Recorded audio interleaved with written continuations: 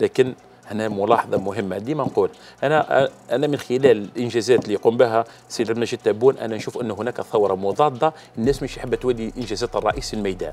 لما تدش المستشفى كبير تاع السرطان كانت الجلفة والأغواط وغرداية وبعض وجو حتى العاصمة المصطفى باشا ويكون الموعد على 16 لما تم تدشين ورا تسويق لهذا لهذا المركز. هنا ما راكش غلط. لو كان الكاتب تاعي راهو هنا عباك واش نقول له لا. نقول له الكوارث باش تصورهم.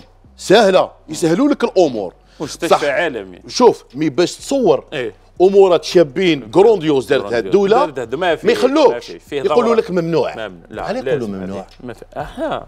ما أنا في عندنا أسبوع كان السيد وزير الاتصال تبع المداخلة قلت السيد الوزير أنا نحملك المسؤولية إنه التسويق الإعلامي للمشاريع الكبرى اللي أطلقها السيد الرئيس وعملت عليها الحكومة. ما فيش نتكلم على غار جبيلات في تندوف نو ما يهضروش عليها ما يهضروش ما يهضروش ما يهضروش هذا مشكل كبير سيد أبي لأنه إحنا إحنا ولفنا إن الشتاء اليوم انتهى. أقول للوزير المحسن احسنت للمسيء اسات إحنا مسؤولين اولا أمام ربي سبحانه هذه مسؤولية معلوم. الكرسي ما يدومش. لا عليها. الكرسي تاع البرلمان خمس عشر سنوات والله من اللي قبلنا إحنا نخدموا بضمير